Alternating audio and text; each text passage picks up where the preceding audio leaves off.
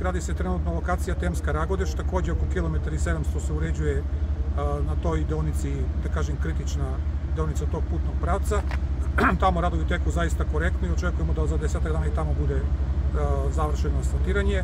Odvijaju se radovi na izradi trotoara ulici Ćiradu Metodija, a ono što predstoji je ulica Senjska, gde vodovod trenutno menje vodovodnu mrežu, tako da očekujemo da okončani, da se pojave nabavci koja je završena i sprovedena, uvede naš izvođač u posao. Takođe ulica Dobrodolska u naselju Prčevac sa pripadajućim sokacijama i sa zamenom vodovodne mreže, a pri kraju su nabavke za uređenje trotoara u ulici 22. divizije, trotoara u ulici Cara Dušana, uređenje takođe trotoara i parknog prostora u Jevreskoj ulici, selo Vlasi, to je već pomenuto, selo Rasnica i sve ono što sledi po planu i programu budžeta grada, gradske uprave i našeg preduzeća.